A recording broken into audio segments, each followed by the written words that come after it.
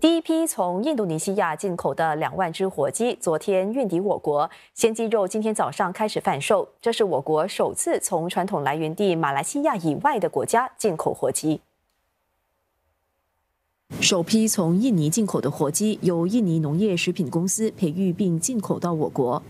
As a first shipment, uh, we have uh, imported about 23,000 birds.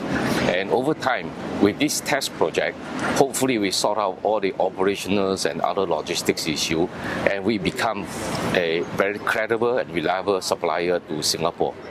首批鸡只经过屠宰加工后，鲜鸡肉今早上架。连锁超市在一些分行测试买气，也有十八沙摊贩开始售卖一米鸡汁，有档口就订了近八十只鸡。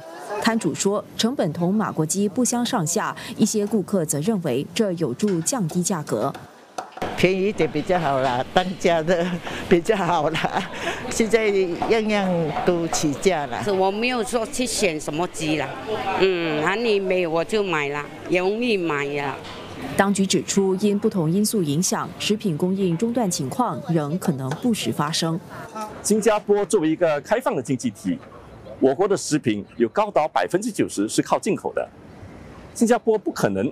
完全避免食品供应中断的情况时不时发生，这也就是为什么我们的食品行业应该制定业务连续性计划，以保持灵活性以及建立快速应对各种变化的能力。徐宝坤也说，随着印尼这个新农场获得批准，新加坡的消费者和商家都将有更多选择。